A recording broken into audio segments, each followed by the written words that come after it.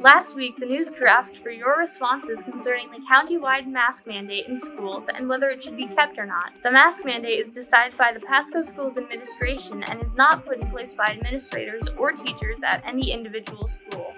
Out of the over 40 replies received through email, Twitter, and Facebook, the responses are in the majority for keeping the mandate. While most agreed that the mask mandate should continue, some believe that the mandate should be optional or just shouldn't be required at all. Here's some of the actual responses we've received from parents, students, and teachers. At least keep the mask through the holiday season.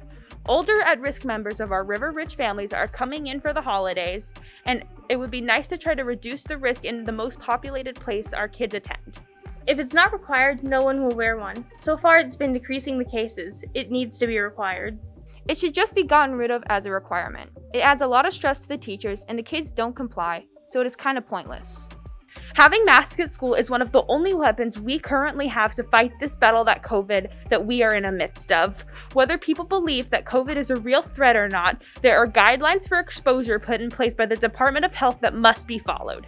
It is absolutely criminal to mask our children, and I will not stop fighting this until they are removed. It's sickening how the school is doing this to these children, and you think the lawsuits are bad now. Just wait till down the road when all these health issues start arising. The masks need to go now. Keep the masks. Keep masks. Keep masks. Keep the masks. Stop the masks. Science.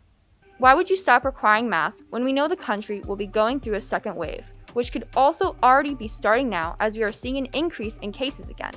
This question posed on Twitter is irresponsible. My dad is a teacher and he regularly has students suddenly put in his online Zoom calls due to being in contact with COVID 19 positive people, often without his knowledge. Yet the mask mandate is still being questioned.